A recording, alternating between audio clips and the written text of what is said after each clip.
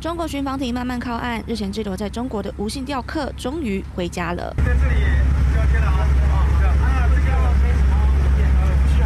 在海中进行交接仪式，两岸海巡也礼貌的握手致意。吴姓男子二十三号下午在海巡的陪同下，终于返回台湾。妈妈等这一刻等了好久，一早就迫不及待在港边等候，看到儿子平安归来，立刻上前将他紧紧抱住。好，就感谢我们海巡啊，海巡啊，还有我们那个大陆那一边的帮忙，很感谢他们，谢谢这次这个大陆这边哦，施出相当的这个善意哦，那个海上营救了我们的乡亲，然后在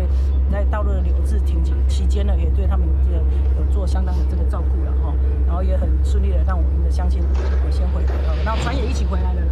这名四十岁的吴姓男子，十七号和二十五岁的胡姓男子乘着波特船一同出海捕鱼，因为遇到大雾迷航，被中国海警救起，滞留在中国。几经波折，一直到二十三号，终于先将其中一人送回台湾。另外一名胡姓男子因为具有军人身份，目前还在进行核实身份当中，无法跟着返台。那对于尚未回来的民众，